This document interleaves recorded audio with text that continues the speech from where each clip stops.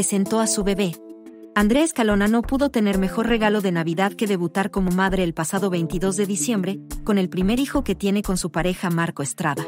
El mismo día que Andrea dio a luz, pocos detalles se tenían del pequeño, sin embargo, fue hasta hoy 26 de diciembre que la propia conductora presentó a su primogénito través de un par de fotografías que publicó en redes sociales. Y por si fuera poco, durante la emisión del matutino, hoy, Escalona compartió con su público el rostro de su bebé y los detalles sobre su nacimiento. También dio detalles sobre el parto.